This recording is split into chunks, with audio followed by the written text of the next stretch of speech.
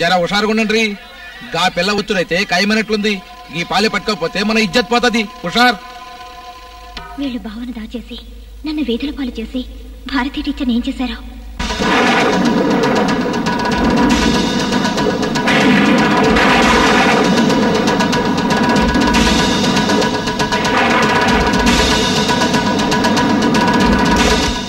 మూడు రోజుల్లో మీ ముగ్గురు శవాలు కళ్ళ చూస్తానని శపథం చేశాను గుర్తుందా పంతులమ్మ?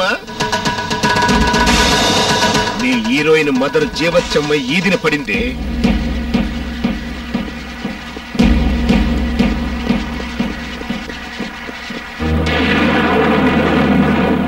హీరో తమ్ముడు శమ్మై గోదాట్టు తేల్తాడే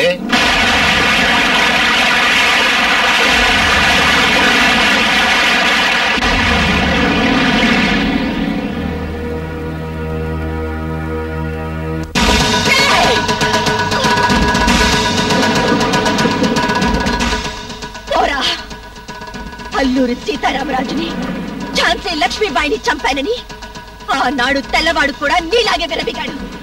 కానీ వాళ్ళిప్పటికీ ప్రజల గుండెల్లో చిరంజీవులుగానే ఉన్నారు. ఆహా చరిత్ర బాగానే గుర్తుంది. కానీ అనవసరంగా చాలా పెద్దోళ్ళతో పోల్చావు. మరి నిన్నెవరితో పోల్చానో నేను చెప్పనా? అటు చూడు. నిన్ను యేసుక్రీస్తుని చేయటానికి రథం సిద్ధం చేశా. ఏ టీచరు? తర్వాత సజీవ దహనం కూడా ఉంది. దీన్ని ఈడ్చికెళ్ళి ఆ సిలువ కట్టి ఊరేగించండి. ఏ తమ్ముడంటో సరిపోతాను